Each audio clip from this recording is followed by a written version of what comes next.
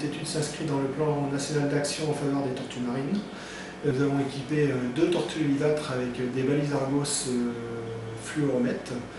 Donc c'est une technologie qui nous permet d'avoir le, taux de notamment la salinité, la température de l'eau, euh, la profondeur de l'animal aussi, mais aussi euh, le taux de, chlorophylle euh, dans l'eau.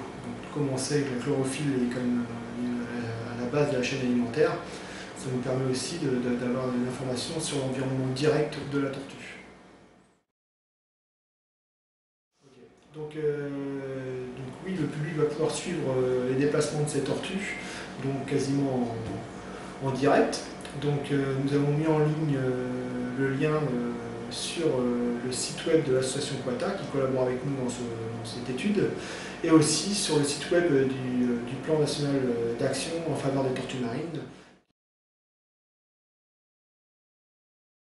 Alors ces balises vont nous permettre d'obtenir des informations sur euh, l'écologie spatiale de, cette espèce, donc le suivi journalier des animaux équipés, ainsi que leurs domaines vitaux, euh, les types d'habitats utilisés, mais aussi euh, des informations sur les paramètres physico-chimiques des colonnes d'eau qui sont utilisées par les euh, tortues marines, et notamment le taux de chlorophylle, la turbidité, la salinité, la température de l'eau.